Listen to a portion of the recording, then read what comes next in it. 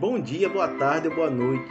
Hoje vamos ler Romanos, capítulo 7, versículo 7 e 1 João, capítulo 3, versículo 4.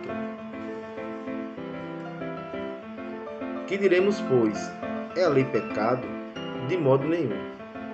Mas eu não teria conhecido o pecado senão por intermédio da lei, pois não teria conhecido a cobiça se a lei não dissera: não cobiçarás. Todo aquele que pratica o pecado também transgride a lei, porque o pecado é a transgressão da lei.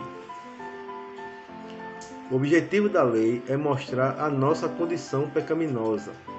Uma vez que reconhecemos nosso pecado, podemos ir ao nosso advogado Jesus Cristo, que nos perdoa e nos limpa. Por isso, Paulo fala que o fim da lei, ou seja, a finalidade da lei é Cristo. Ela nos conduz a Cristo, assim como um espelho revela a sujeira no rosto, mas não limpa. Também a lei mostra a necessidade de purificação, mas não salva. O fato de sermos salvos pela graça não nos autoriza a transgredir o mandamento. Por outro lado, a obediência é uma prova de que estamos salvos em Jesus. Meditem nesta palavra e fiquem todos com Deus.